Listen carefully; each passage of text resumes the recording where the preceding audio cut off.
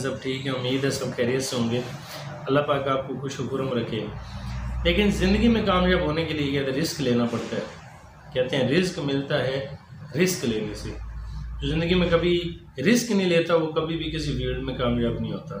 तो हमें अगर बड़ी कामयाबी चाहिए, बड़ी सक्सेस चाहिए तो हमें ज़िंदगी में रिस्क लेना होगा।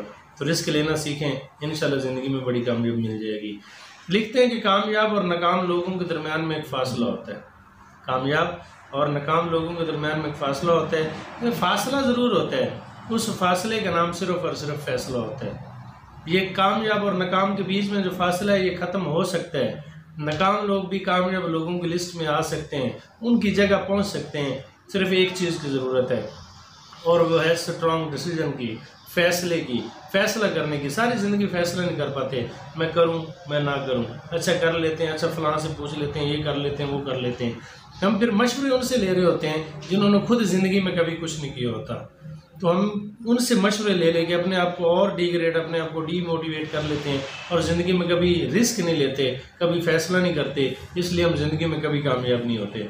तो ये छोटी सी बात जो मैंने आपके साथ शेयर की रिस्क लेना सीखें इन ज़िंदगी में बड़ी से बड़ी कामयाबी आपको मिल जाएगी। थैंक यू वेरी मच अल्लाह हाफिज़।